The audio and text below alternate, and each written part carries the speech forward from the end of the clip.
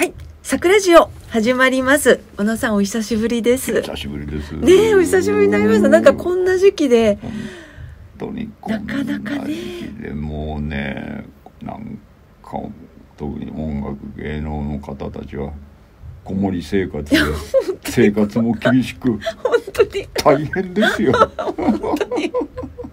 本当にもうなんか、泣くしかないって笑ってますって感じですよね。飲食業の方はね大騒ぎされてますけど、いやもっと大変なのは芸能文化うん。あんまりね語られないじゃないですか。いや、なかなかどなたもおっしゃってくださらないですけれどもね。こんな時期に実は心をこう癒してくれるのはうんね映画だったりはい、歌だったりするんじゃないですか。おっしゃる通りです。ね本当ですね。はい。で、そこでですね、はい。はい、あの桜ジオ1回目からはい。村上幸子さんのことをたくさんお伺いしてきたんですけれどもはい。ここへ来てまたちょっと村上幸子さんのある噂を私耳にしまして。あらま はい。でね、はい。あの村上幸子さん島倉千代子さんのはい。ファンだったっていうふうに、そうですね。えー伺って。でなんか入院してる時にはい。見舞いお見舞いになんか島倉さんがうん。訪れたというお話をちらっと聞いたんですがそこら辺をちょっと小野さん詳しくお伺いしたいんですが。あの本当に亡くなるね寸前だったと思います。でその一部資料は僕はあの現場にはいなかったんですけれども。ええ。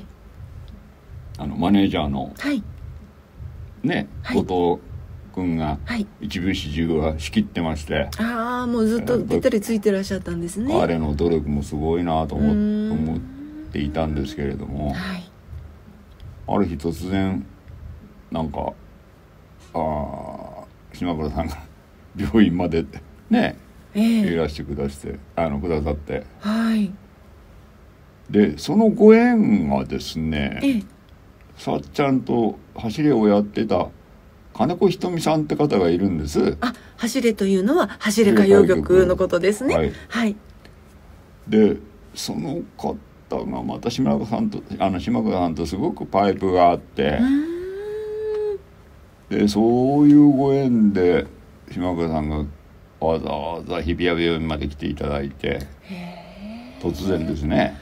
あそうでしたか。突然だったんです突ね然らしいです、へえそれでなんかやっぱり病がすごく進んでて目が見えるか見えないかってわいうあ状況だったみたいですけれどもはあそれでも島倉さんが登場したら「島倉さんだ!」とかってすごく喜んでへあのびっくりしたことはしたんでしょうけれども、えはい。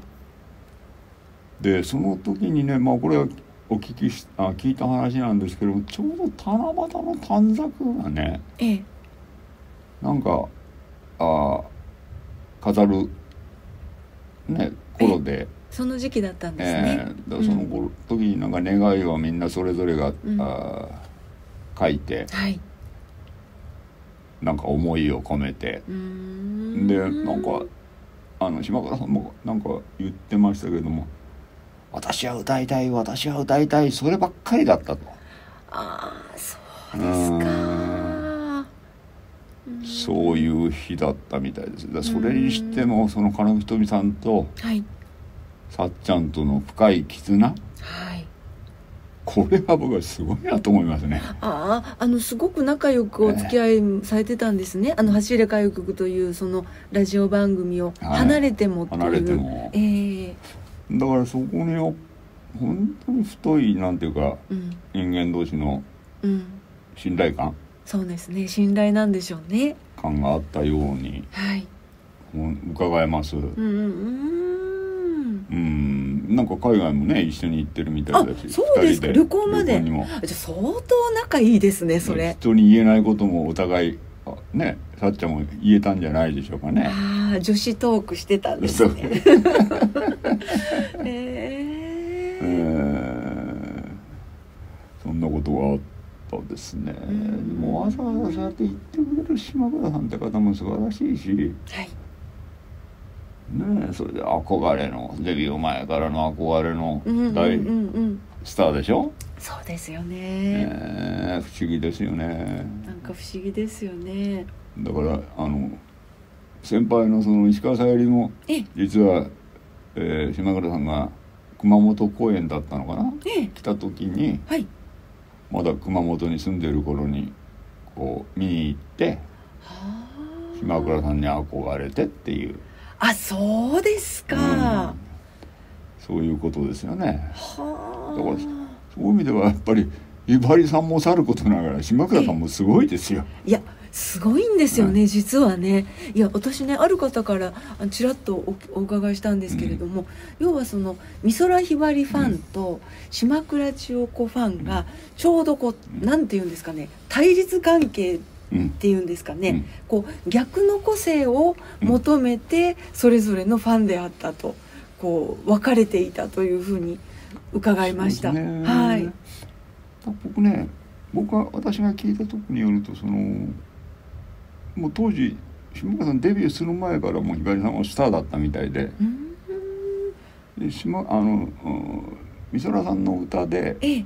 オーディションを受けたらしいんですね。あそうでしたか。確か。ああやっぱり憧れの人だったんですそのね。頃のやっぱりスタッフって優秀な人が多かったんでしょうね。美空ひばりは2人いらない。なるほど。うんうんうん。ということではい。島倉さんは実はなんていうかあと自分なりに自分の世界を作るのはどうすればいいかっていうことを多分研究したんでしょうね。まあ周りのまさに自分の歌い方ですよね。うん。だそれはやっぱり素晴らしいプロデューサーだよね当時の素晴らいしいと思います。ねうん。ああやっぱ素晴らしいな本当に。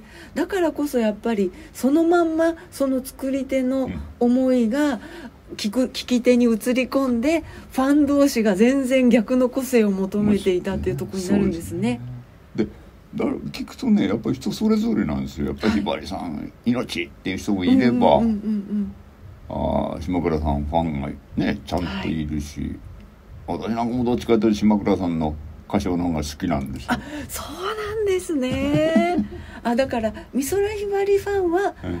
アンチ、うんえー島倉千代子だし島倉千代子ファンはアンチ美空ひばりさんだったというような図式がやっぱぱりあったんですみね。たいですね。うん。みたいですね。あ面白いですね。ねうん。本当に。うん。でも私などはあの歌い手の端くれとして、はい。美空ひばりさんの歌やっぱりもう,、もう尊敬でしかないっていうところで聞くんですけれども、あのもうちょっと親しみやすくって、でもなんかななんて言うんですかね、あのたおやかさとうん。女性らしさ可愛らしさのうん。島倉千代子さんの歌もとっても好きっていうところがあります。はい。なるほどね。うん。うん。はい。これやっぱあので若い頃のひばりさんってやっぱり確かに天才だと思いますねはい。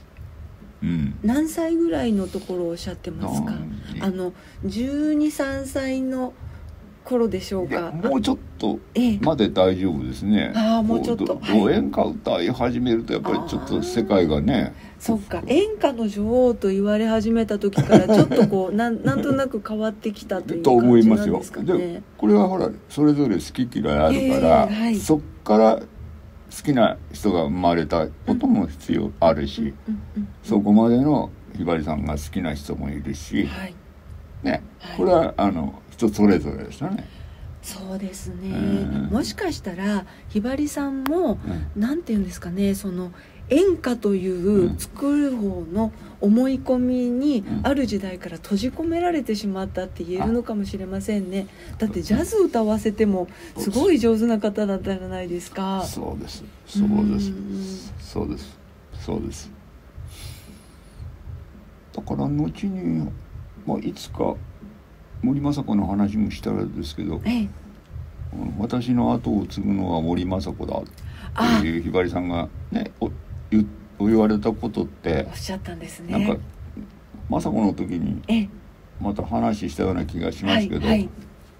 わかるでしょ？はい。なんとなく。わかる気がします、とってもわかる気がします。はい。でもそこにご自分の若い頃って似てたんだと思いますよ。なるほど雅子に。な雅子が。はい、ううんん、うんうんうん。本当そうだな、うん、なんか大きく見えませんけど大きくうなずいてしまいます。はい。うん。でそしてね、はい。小野さんね、はい。あのこのここにあの音の資料がうん。あのちょっと今あの、うん。見せていただいたんですけれども「歌は友達」という、はい。えー2003年のこれラジオのはい。番組ですよね。えこれはね私が独立してから、まあ、スポンサーの社長さんと縁があったもんですから、はい。ラジオやりませんかと。うん、まあ歌好きだったんですよねええ。この方も。その方がね。九はい州の方だったと思うんで。すよ、そうで宮崎だったからええ。そしたらあじゃあってことではい。でいろいろ考えあぐねたあげくはい。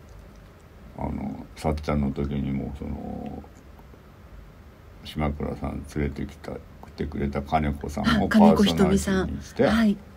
それで島倉さんと一緒にレギュラーに出ていただきました、うーん。レギュラーで、そうなんですね。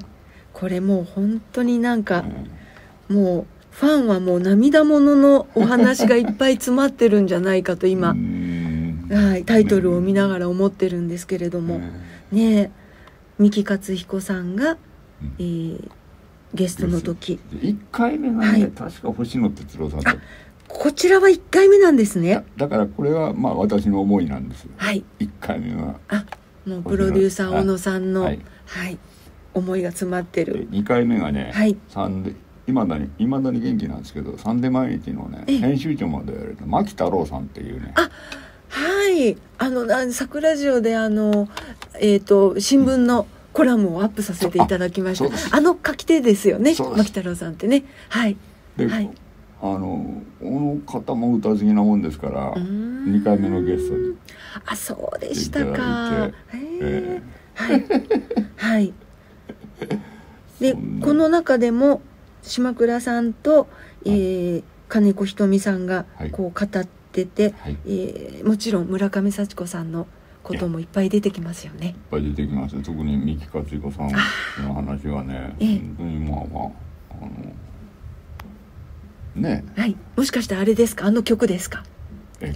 あの曲のことをいっぱい、ね一番最後の今日の川世の中っていうのが、まあはい。最後の作品になりましたから、ええシングルではね、この話をいっぱい、ああもうもうファンの皆さんもうそこまで聞いて泣いてると思います あの村上幸子のファンの皆様、あの楽しみになさってていただきたいと思います、もうあのキンキンねあのこのラジオをあの桜ジオの中でうん。えあのリアルに紹介していきたいと思いますので、どうぞお楽しみになさってください、うん。はい。小野さんお許しいただけますよねといやそれは大丈夫だと思いますよ。あありがとうございます。あの編集が大変かもしれませんけどね、もう頑張って編集させていただいて アップしていきたいと思います。はい。ね貴重な資料いただいてありがとうございます。